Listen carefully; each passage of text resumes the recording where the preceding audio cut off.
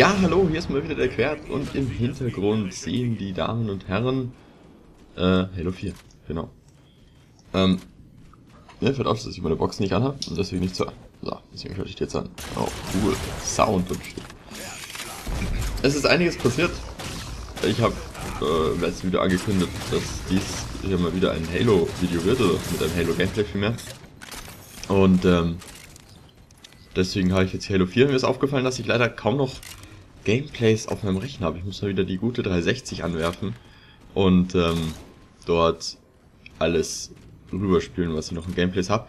Wobei, allzu lang ist es ja nicht mehr. Denn dann, meine Damen und Herren, werden wir in ein neues Zeitalter von Halo aufbrechen. Oder in ein altes Zeitalter aufbrechen. Irgendwie. Keine Ahnung. Egal. Weil lang ist es nicht mehr hinten, dann ist eigentlich die Master Chief Collection drauf. Ich muss sagen, ich bin... Oh mein Gott, ich bin gehypt. ich kann es ehrlich gesagt kaum noch erwarten, man. Die, ich meine, ähm, das neue Halo Cluster News Folge sollte eigentlich schon bald irgendwann draußen sein. Ähm, die das Ganze behandelt. Ansonsten haben die meisten News wahrscheinlich auch so schon gesehen. Die neue Schmiede von Halo 2 sieht apokalyptisch gut aus. Das ist wirklich, oh mein Gott.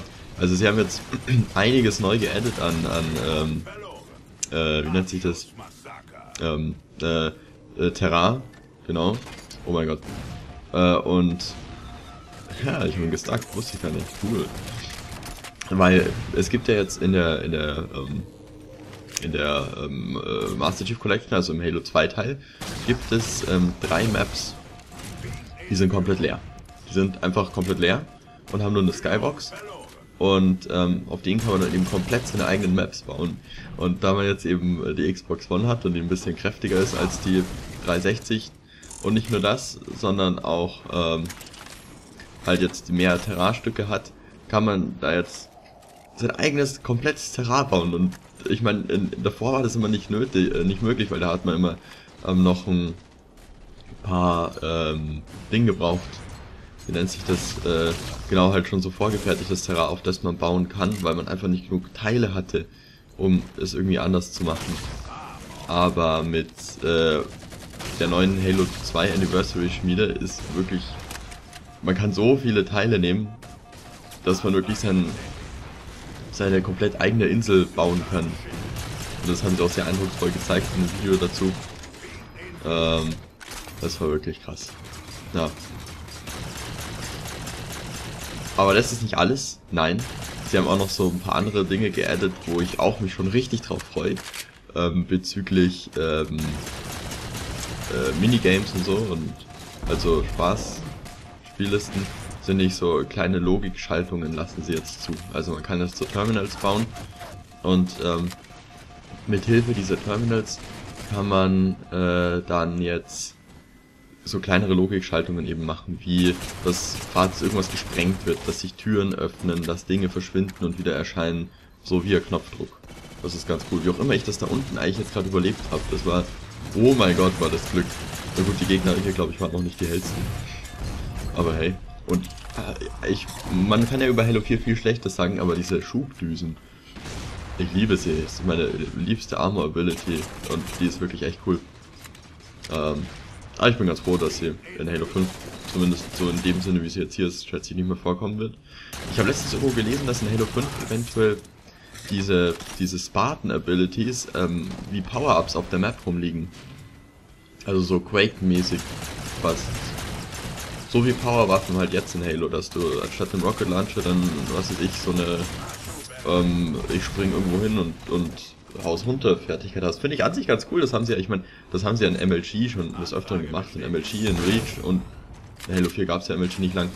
Ähm, war es ja so, dass anstatt Powerwaffen, da war ich schön den, den Kill gerade eben vorhin weggenommen, dass der Rocket gewastet wurde, fällt mir so auf. Egal, dass anstatt Powerwaffen an manchen ähm, Positionen halt irgendwie Armor-Abilities rumlagen. Ähm, die dann halt irgendwie, was weiß ich, dass man sich rollen konnte, Evade-mäßig und so. Aber ja. Die Armor Abilities, die sie da jetzt haben, oder diese Spartan Abilities, äh, wirken eigentlich bis jetzt. Also man hat nicht viel gesehen, deswegen ist es dumm, eigentlich eine Aussage darüber zu treffen, aber sie wirken äh, so mit runterspringen und Shit und Zeug machen. ganz okay. Ist ja auf jeden Fall aggressiver, als ähm, was man bisher gesehen hat.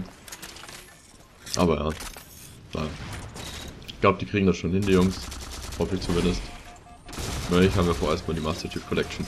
Trotzdem muss ich nochmal sagen, es ist wichtig, dass Halo 5 gut wird, auch wenn wir die Master Chief Collection haben. Die Master Chief Collection, meine Damen und Herren, wird uns zwar lange versorgen, aber sie wird leider nicht ewig halten. Und deswegen ist es wichtig, dass wir das Vertrauen in neue Halos nicht verlieren. Wenn wir das nämlich tun, dann ist das scheiße, weil dann äh, war es das nach der Master Chief Collection so ziemlich mit Halo. Und genau aus diesem Grund ist es verdammt wichtig, dass Halo 5 gut wird, aber äh, die Chancen stehen meines Erachtens auch ganz gut, dass Halo 5 gut wird. Das ist ja ziemlich viel gut in einem Satz. Ähm, weil sie eine so frühe Beta haben, erstens. Und zweitens, weil sie scheinbar wirklich mit Halo 4 aufgewacht sind. Ich meine, das war ja auch irgendwie... Der Multiplayer, der ist ja so schnell abgesackt. Das war echt Wahnsinn. Das hat sich einfach gesagt, Halo 4... Nee. Halo 4 war so falsch in so vielen Arten. Und das Traurige ist, dass ich gut und gerne glaube, dass Halo 4 ähm, sehr wohl sehr gut hätte sein können. Ich meine, die Story und so fand ich auch noch gut, aber ich meine, auch storymäßig hätte es noch deutlich besser sein können. Da kriegt er mich noch, wenn man... Wieso ist der arme Karabiner so underpowered? Der hat einfach so ein kleines Magazin. Mein Teammate wird gestuckt, na super. Ähm, ja, das große Problem ist eben mit Halo 4, dass es so verdammt wirkt, wie als hätte, wie als hätte es ähm, einfach nicht mehr in diese Generation gehört. Wie als wären sie so gerade mit der Hälfte ihres Projekts fertig gewesen und dann kam Microsoft rein. Jo Jungs, äh, wir brauchen noch was für die 360, für die E3. Ähm, Halo 4. Wie? Halo 4 ist doch für Xbox One? Ja, jetzt nicht mehr. ähm, so kam es mir nämlich vor. Und da Halo halt so eine große IP ist, ähm, ähm, ja, auf der Xbox äh, haben sie sich dann nicht so gedacht, ja. Also die, Xbox, die Microsoft-Menschen, ja, oh, scheiße, wir brauchen irgendwas für die E3. Äh, haut mal das neue Halo raus. Ja. Und ähm, es wirkt einfach an vielen Enden und Ecken, Ecken und Enden andersrum, ähm, einfach so gerusht, so überschnell fertig gemacht. Und auf Entfernung ist die Sau echt gar nicht mal so gut. Na gut, okay, ich hätte ihn, hätte die volle Schilde gehabt, hätte ich ihn besiegt, aber trotzdem bitter, bitter, bitter, bitter, bitter, bitter. Ja. Na egal, mit Halo 2, ich bin sehr erfreut, dass die Schmiede äh, in Halo 2 Anniversary so gut ist, weil ich hatte am Anfang schon Angst. Ich hatte Angst, dass, uh, dass, ähm, lol, okay, er hat mich nicht gesehen, warum immer, schätze ich. Ich hatte am Anfang Angst, dass es das war mit den sechs Maps. Dass diese sechs Remastered Maps, bam, und das war's. Und dann äh, hätten wir wieder warten müssen, Ewigkeiten. Weil Halo 3, schön und gut, 60 Frames per Second wird ein geiles Game. Kennt man aber schon. Kennt man alle schon. Haben wir schon gesehen.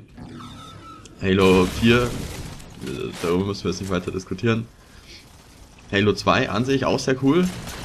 Aber halt auch ziemlich alt. Also noch nicht Augenkrebs alt, aber schon kurz davor.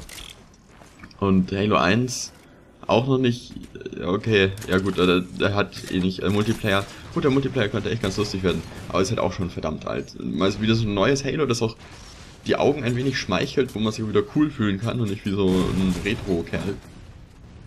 Ähm, ganz davon abgesehen, dass diese ganzen Games mit diesen Retro-Grafiken mag zwar die altbackenden äh, Fans ziemlich gefallen, aber neue Spiele anlocken tun sie auf jeden Fall nicht. Meines Erachtens zumindest. Und deswegen, ja.